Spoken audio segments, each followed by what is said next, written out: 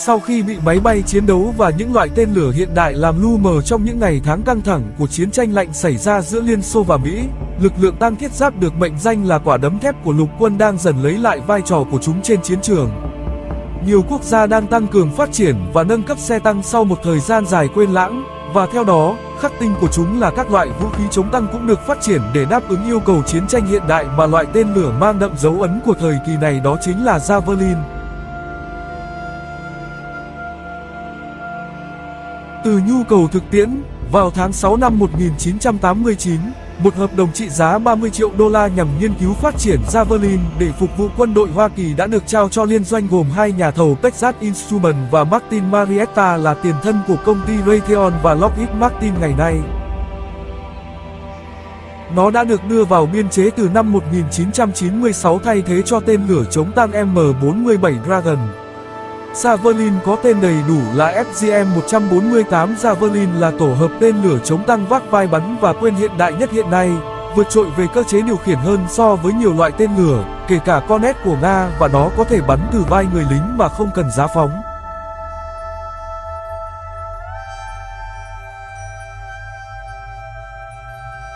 Ở đây, chúng tôi xin được chia sẻ với các bạn một số tổ hợp chống tăng hoạt động theo nguyên tắc tương tự. Đó là tên lửa chống tăng cá nhân cơ động thế hệ thứ ba Aptonomia dẫn đường hồng ngoại IIA cùng với một biến thể đầu tự dẫn radar của Nga, tổ hợp tên lửa chống tăng thế hệ Barrett Arrow 12 của Trung Quốc,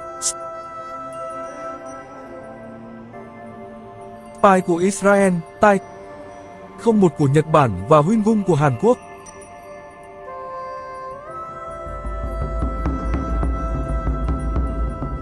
Tên lửa FGM-148 được thiết kế để tiêu diệt xe tăng, xe bọc thép của đối phương, nhưng cũng phát huy hiệu quả khi tấn công trực tiếp các tòa nhà và công sự. Thậm chí, với khả năng tấn công trực tiếp bằng chế độ bắn cầu vòng thì những con trực thăng bay ở cao khoảng 152 mét trở xuống không phải là vấn đề đối với Javelin. Còn bây giờ, mời các bạn nhìn lên màn hình để cùng chúng tôi điểm qua một vài thông số cơ bản của một trong những dòng tên lửa vác vai chống tăng hiện đại nhất của Washington. Javelin có chiều dài 1,1 m, đường kính 127mm và có trọng lượng lên đến 15,9 kg. Bạn có thể sử dụng chúng trong mọi điều kiện thời tiết, bất kể ngày hay đêm. Hệ thống tên lửa này bao gồm 3 thành phần chính đó là bộ điều khiển, Ống phóng và tên lửa, muốn sử dụng hiệu quả thì ekip cần có hai người. Thứ đóng vai trò chính khiến cho Javelin trở nên nguy hiểm hơn bao giờ hết đó chính là đầu đạn nặng 8,4 kg loại nổ lõm chống tăng hít. Đầu đạn này thuộc kiểu hai đầu nổ chuyên dùng để trị giáp phản ứng nổ IR đang được trang bị trên xe tăng hiện đại. Đầu nổ thứ nhất sẽ kích hoạt khối IR bên ngoài để lộ ra lớp giáp chính của xe tăng, tạo điều kiện cho đầu nổ thứ hai xuyên phá với sức xuyên 600mm thép đồng nhất. Một điểm độc đáo là đầu đạn sử dụng chất nổ mạnh hít tiêu diệt các xe tăng hiện đại bằng cách tấn công đột nóc từ trên cao nơi lớp giáp mỏng nhất, được thiết kế để giảm trọng lượng xe. Có thể nói sự xuất hiện của Javelin đã làm đảo lộn tất cả các tính toán của những nhà thiết kế xe tăng và việc bổ sung giáp phản ứng nổ đã không thực sự có ý nghĩa nữa. So với các hệ vũ khí chống tăng khác thì Javelin dễ dàng tách và thiết lập bắn khi cần. Ví dụ dễ thấy nhất là tên lửa BGM-71 tàu. Tàu yêu cầu một giá ba chân cực kỳ nặng, một hộp bảo vệ công kềnh cho ống ngắm nhiệt, một ống phóng lớn hơn, dài hơn và tốn nhiều thời gian hơn để lắp ráp và chuẩn bị. Còn Javelin, nó có nặng nhưng vẫn còn nhẹ hơn rất nhiều so với loại tên lửa khác, trong khi tầm bắn vẫn đảm bảo lên tới 4.750 mét. Và có một điều mà tôi cực kỳ thích ở loại vũ khí diệt tăng này, đó là nó cho phép người lính nhanh chóng lẩn tránh sau khi bắn. Bởi vì khi khai hỏa, Javelin chỉ tạo ra một luồng phụt tối thiểu mà thôi. Điều này không chỉ giữ bí mật vị trí của người lính mà còn cho phép họ sử dụng nó ngay cả trong các cấu trúc hẹp như hầm hào, công sự một lợi thế vô cùng lớn trong các chiến vùng đô thị.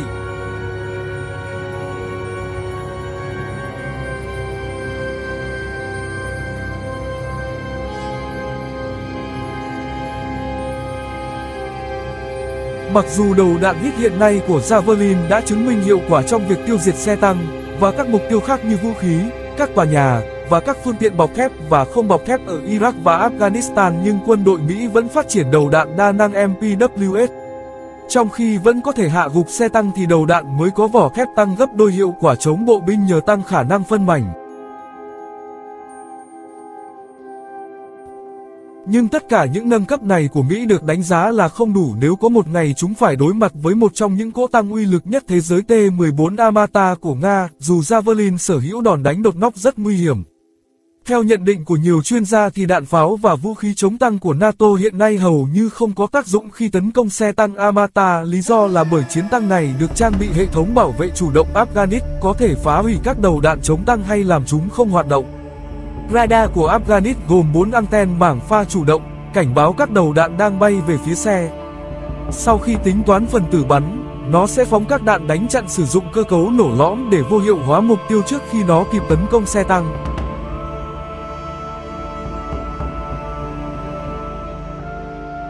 Thiết bị gây nhiễu sẽ làm rối loạn quỹ đạo tên lửa tia laser và radar dẫn đường sẽ bị khóa do màn khói.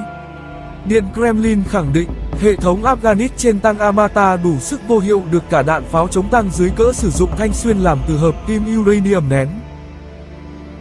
Và đó chính là lý do tại sao không một ai tin rằng loại tên lửa thuộc hàng bá đạo nhất thế giới Javelin có thể cứu được Ukraine trước đòn tấn công của Nga.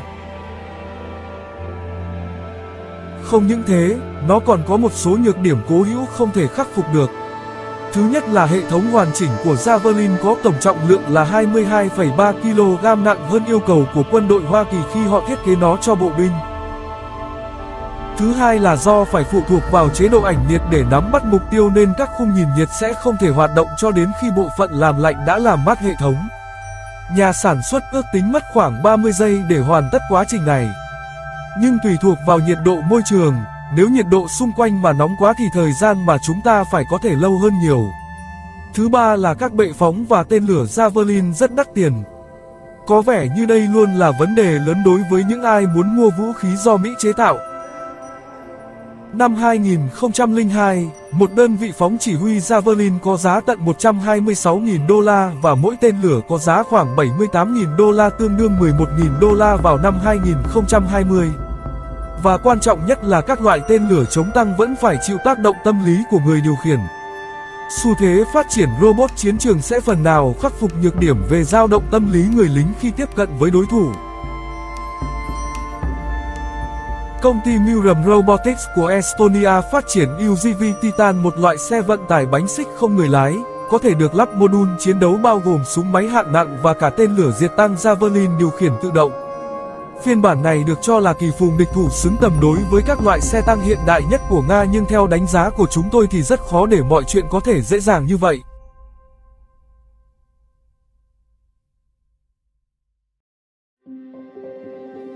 Tuy nhiên, bất chấp thực tế này, vào năm 2018, Ukraine vẫn đặt mua 210 tên lửa Javelin và 37 đơn vị phóng của Mỹ, sau đó mua tiếp 150 tên lửa và 10 phương tiện phóng khác. Lầu Năm Góc thậm chí còn bàn giao 30 tên lửa Javelin và 180 tên lửa chống tăng cho Ukraine trong tháng 10 năm 2021, một động thái nhằm thể hiện cam kết vững chắc của họ trong việc ủng hộ vấn đề chủ quyền của Ukraine trong bối cảnh đang căng thẳng với Nga. Cho dù Moscow vẫn phủ nhận không hề có ý định đánh chiếm Kiev, đồng thời biện minh cho việc huy động binh lính đến biên giới là vì lo ngại NATO tăng cường sức mạnh bên sườn nước Nga. Phát ngôn viên Lầu Năm Góc John Kirby nói rằng Mỹ đã đề nghị nước này sử dụng những hệ thống tên lửa này một cách có trách nhiệm và chỉ phục vụ cho mục đích tự vệ. Sở hữu những vũ khí này có thể giúp tăng cường đáng kể sức mạnh phòng thủ của Ukraine trong trường hợp bị Nga tấn công. Tên lửa Javelin có thể tăng cường sức mạnh và hỗ trợ cho lực lượng gần 2.000 xe tăng của Ukraine, giúp nước này có thêm một lựa chọn chống tăng không cân xứng.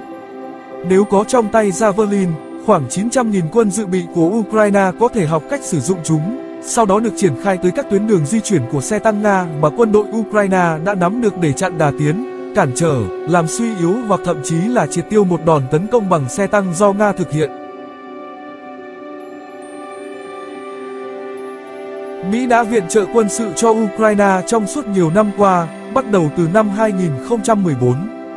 Theo hãng thông tấn TASS của Nga thì tính đến thời điểm cuối năm 2021, Mỹ đã chi khoảng 2,5 tỷ đô la tiền viện trợ quân sự cho Kiev. Washington đã cung cấp cho họ vô số trang thiết bị quân sự và cử nhiều chuyên gia tới huấn luyện trong quân đội.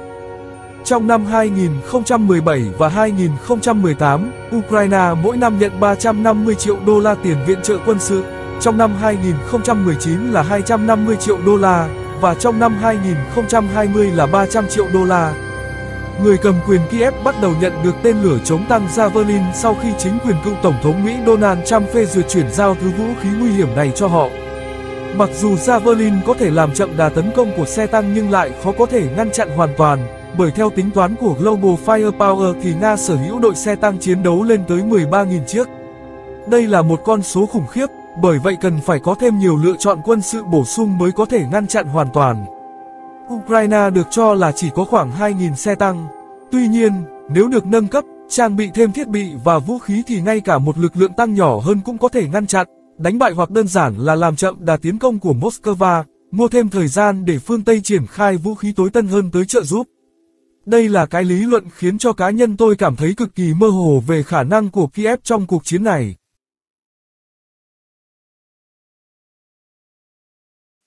Thậm chí là theo một phần của điều khoản hợp đồng với Lầu Năm Góc, Javelin sẽ không được triển khai trên chiến trường mà phải cất giữ ở miền Tây Ukraine địa bàn cách chiến tuyến Donbass hàng trăm km. Một quy định cực kỳ bất lợi cho Ukraine.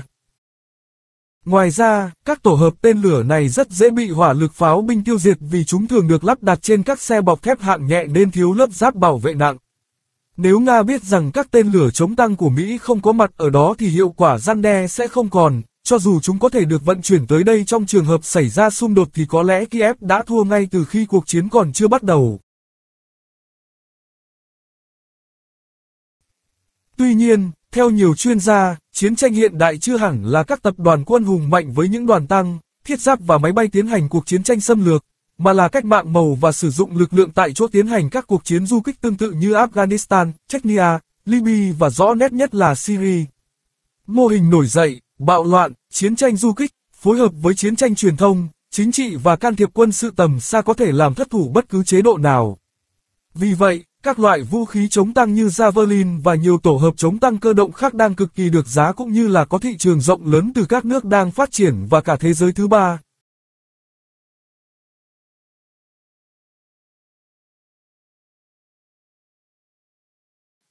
Vừa rồi là toàn bộ video về dòng tên lửa vác vai chống tăng uy lực nhất thế giới. Vũ khí dù hiện đại thế nào, được viện trợ nhiều đến bao nhiêu nhưng nếu quốc gia đó không có ý chí, không tự lực cánh sinh mà chỉ trông chờ vào sự trợ giúp từ bên ngoài thì con đường bảo vệ chủ quyền chắc chắn sẽ còn gặp rất nhiều trông gai.